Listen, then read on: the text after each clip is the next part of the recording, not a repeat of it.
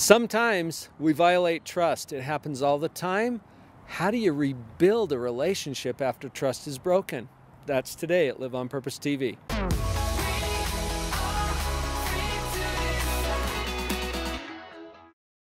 Trust.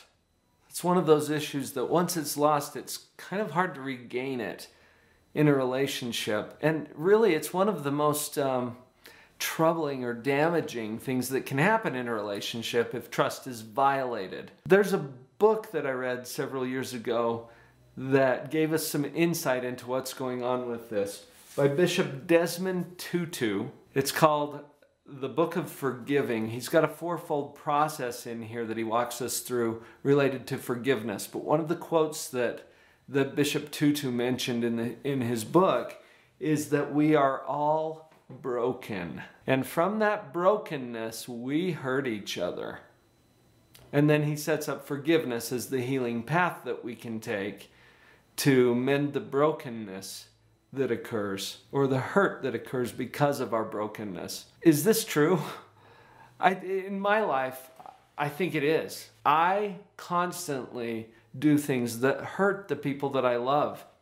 I think it's part of being human. And as we as we do these things, sometimes trust is affected. Think of trust for a moment as a bank account. You know, if you've got a bank account and you make deposits into that bank account and it grows up gradually over time until you've got this nice balance. And then what happens if you go in and you make a huge withdrawal from that bank account? Well, now you don't have the same balance that you had before. And if you really want to purchase something that requires a higher balance, you're going to have to again make some deposits into that bank account. Trust is very similar in a lot of ways. We make little deposits. I think the best way to build trust is to do what we say we will do, to have integrity. In my mind, integrity is when what you say and what happens match. Think about that. When what you say and what actually happens are a perfect match, that's integrity. And the more you can make those deposits of integrity by doing what you say and saying what you'll do, that helps to build up the trust. Now, let's talk for a minute about what happens if you're on the being hurt end of things. Okay, someone has done something that has violated your trust or hurt you in some way because of their brokenness. Okay, that's where we're going next. Anytime we are offended, we create a story. Now, notice that this is true. The story, and some stories are true. I'm not saying that it's not. I'm saying that anytime we get hurt or offended, we create a story. I think part of the process of letting it go or healing or rebuilding after trust is broken is to tell the story. Tell the story.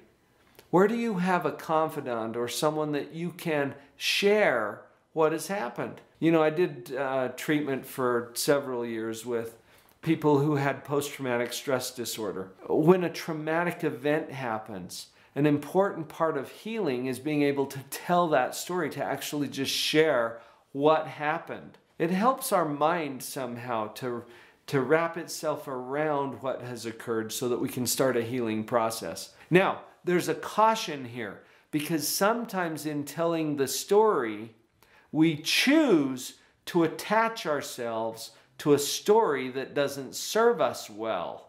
Can I give you an example? One of my clients, this was probably about 25 years ago, early in my career, I had a client who came to see me about something very, very difficult that had happened in her life. And the quick version, without sharing anything that's confidential, her now ex husband had accused her of committing a crime for which she was arrested while he absconded with her daughter, took off, left the state. So the, that created a child custody issue. Anyway, that was the basics of what had happened. I got to meet with her for several sessions over the course of many months. At one point in this process, I had observed that she had attached herself to a story about this that was not serving her well. Yes, she was telling the story about how her ex husband had taken off with her daughter and had her arrested so that she couldn't chase him. That's all kind of the factual part of this story. But what this had evolved into for her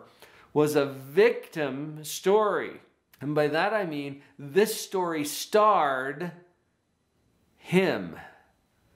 And she showed up in a supporting role as the pitiful victim that was getting beat up in the process. You know what I'm talking about here with the victim story. I called this to her attention by saying, hey, um, have you noticed in all of the sessions that we've been having over the past several weeks and even a couple of months, have you noticed who the story is about?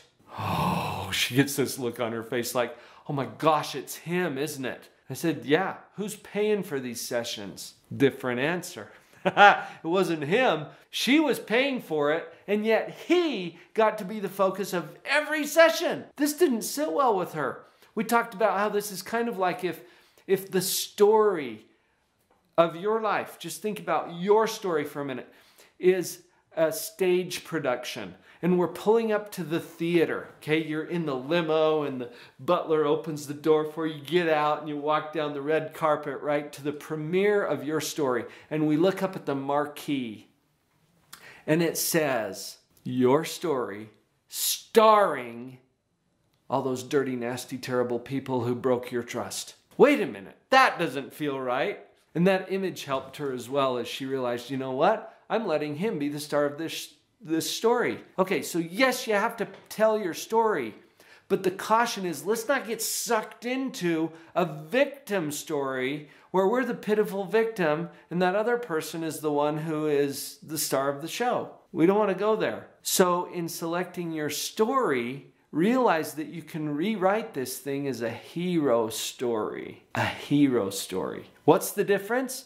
In the hero story, you show up as the amazing, powerful hero. And yes, there's other supporting actors, including the one who broke your trust, but they're just there as a supporting actor. And their role is to illuminate your genius. You think about any of the movies that you've seen, you know, those hero movies. Why are the villains in those movies? Well, the villains are simply there to illuminate the hero. So we're going to be selective in which story we select and attach ourselves to as we start to move on and rebuild this relationship of trust. Going back to Desmond Tutu's book, I think he had a brilliant suggestion that once the hurt occurs and we've decided that we're going to move on, we have a choice to make. And the choice that he suggests is that we are either going to release or renew the relationship. I had a great opportunity several years ago to interview Coach Larry Gelwix. You, you might remember him from the movie Forever Strong about the Highland rugby team. He was the coach of that team. Coach Gelwix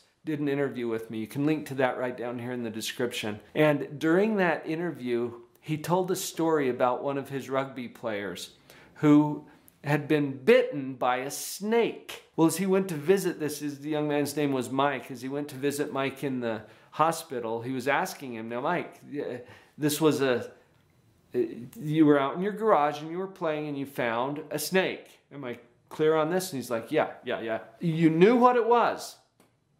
Yeah. You picked it up.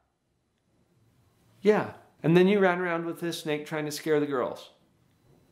Yeah. The snake bit you. Yeah. See, he's affirmatively answering all of these questions. The coach was was just his mind was blown. Okay, so you knew what it was when you picked it up. Going back to Bishop Tutu's book, as he says, you got a choice to either release or renew the relationship. What if? Now, I'm not saying that the person who hurt you is a snake, but what if they are? You know what I mean? This is just someone who's not healthy for you to have in your life. Can you release that without holding a grievance in your own heart about that? I think that's one of the options. Well, what if we choose to renew the relationship? Okay, there are principles that will allow us to do that.